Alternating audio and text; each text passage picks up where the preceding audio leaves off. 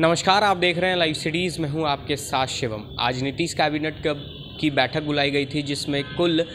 नौ एजेंडों पर मुहर लगी है। आपको बता दें कि नेक संवाद में यह बैठक बुलाई गई थी, जिसमें बिहार नीतीश कैबिनेट के जितने भी मंत्री हैं, वो शामिल थे। आप साफ़ तौर पे तस्वीर देख सकते हैं। और आपको बता दें कि वो कुल नौ एजेंडे में क्या क्या है, वो आपको हम विस्तार पूर्वक बताते हैं। तो आपको बताते चले कि जो पहला एजेंडा है गृह विभाग की तरफ़ से, वो है बिहार पुलिस की भांति बिहार गृह रक्षा वाहिनी के वैतनिक सिपाही अधिनायक एवं अधिनायक ग्रेड वन को क्रमांश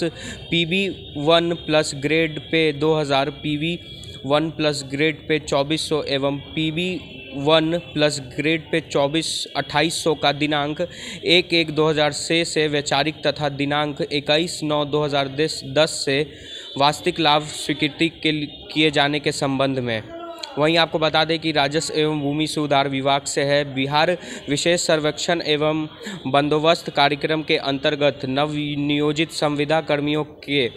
पारिश्रमिक मानो, मानोदय के भुगतान हेतु राज्य योजना, मद में योजना एवं विकास विभाग, बिहार, पटना द्वारा अनुमा, अनुमादित आंतरिक योजना उद्योग के आलोक में पित्र कोड चालीस के इकाई कोड अट्ठाईस दो संविदा सेवाएँ मद में बिहार आस्मिकता निधि से राशि कुल एक सौ अठहत्तर करोड़ छियासठ लाख उनसठ हज़ार रुपए मात्र अग्रिम की स्वीकृति के संबंध में। वहीं आपको बता दें कि स्वास्थ्य विभाग की तरफ़ से जो तीसरा एजेंडा है, भारतीय चिकित्सक केंद्रीय परिषद के न्यूनतम मापदंडों को दृष्टिपथ रखते हुए राजकीय आयुर्वेदिक कॉलेज एवं अस्पताल पटना में सौ छात्रों के नामांकन हेतु कार्यालय एवं चौदह विभागों में गैर शैक्षणिक कर्मियों के कुल 26 पदों का सृजन के संबंध में। वहीं आपको बता दें कि जो चौथा एजेंडा है, वो भी गृह विभाग का है। क्षेत्रीय जिला अभियोजन कार्यालय एवं अनुमंडल अभियोजन कार्यालयों के लिए विविध कोटि के कुल 143 अतिरिक्त पदों के सृजन एवं पूर्ण गठन की स्वीकृति के संबंध में। वहीं आपको बता दें कि नागरिक, नगर विकास एवं आवास विभाग की तरफ़ से केंद्र प्रायोजित स्मार्ट सिटी मिशन योजना के अंतर्गत भागलपुर, पटना, मुजफ्फरपुर एवं बिहार शरीफ शहर को स्मार्ट सिटी के रूप में विकसित करने हेतु गठित एसपीवी कंपनी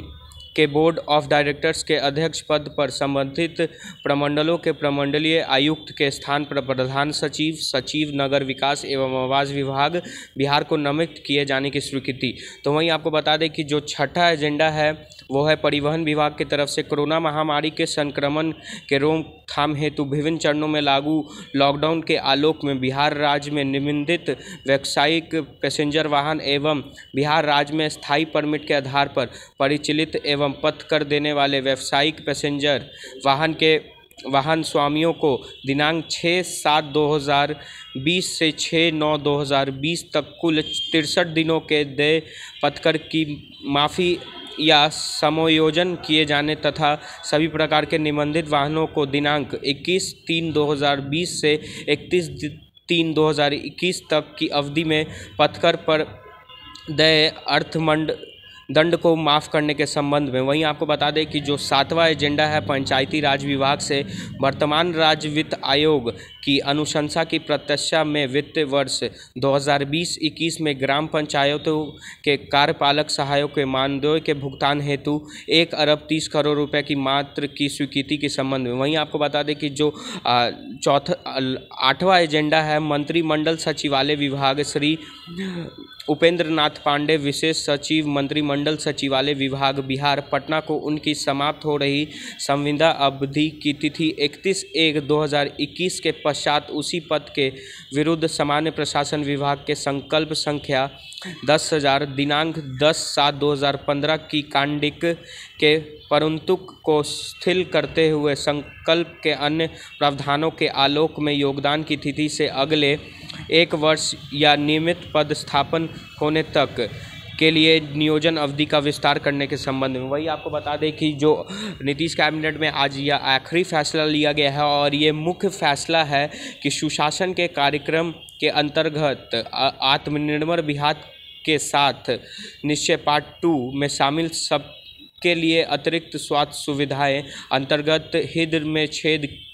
के साथ। जन्मे बच्चों के निःशुल्क उपचार की व्यवस्था हेतु नई योजना, बाल हृदय योजना की स्वीकृति मिली है। तो आपको हमने बताया कि आज नीतीश कैबिनेट में कुल नौ एजेंडों पर मुहर लगी है, जिसमें जो मुख्य एजेंडा था, वो आपको हमने विस्तार पूर्वक बता दिया है। वहीं आपको बता दें कि नौ एजेंडों में से एक जो मुख्य एजेंडा था कि जो भी बच्चे अब जन्म लेंगे, जिनके हृदय में छेद रहेगा, उसका उसका जो खर्च है, वो पूरे तरीके से सरकार उठाएगी। तब तक के लिए आप बने रहे हमारे साथ। अगर आपने हमारे चैनल को सब्सक्राइब नहीं किया है तो जल्द से जल्द सब्सक्राइब कर ले। धन्यवाद।